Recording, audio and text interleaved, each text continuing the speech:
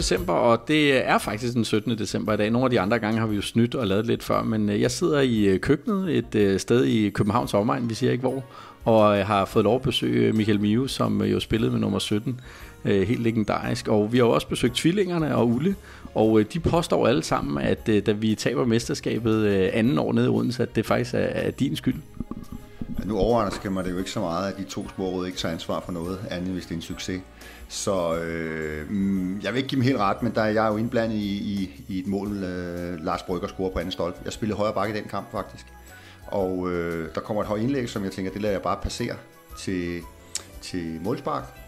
Øh, jeg havde bare ikke set, at Lars Brygger stod lige bagved, så han tappede den lige ind der, og så, øh, så var vi bagud, ikke? Og altså, så blev det op ad bakke. Fordi så går der to minutter, så kommer der en melding fra Silkeborg Stadion, at de kommer foran imod OB. Så ja, involveret. Øh, jeg vil så også lige lave krøllen på, at samme sted, 8-10 år senere, der hæver jeg så pokalen øh, i, den mesterskabssæson 2000-2001.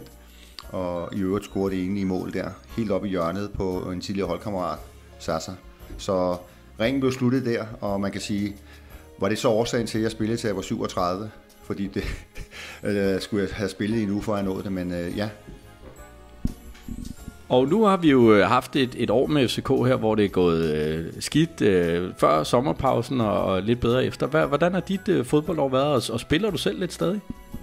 Jamen, mit fodboldår, det har været rigtig, rigtig godt. Jeg er begyndt at spille lidt igen. Jeg spiller med, med veteranerne ude i, i KB, som er moderklub til, til, til vores klub.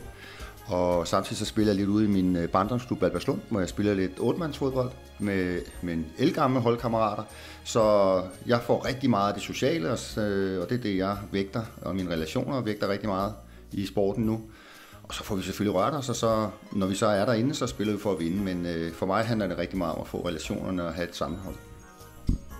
Og nu øh, står julen jo for døren. Har I nogle særlige juletraditioner? Hvem fejrer du jul med for eksempel?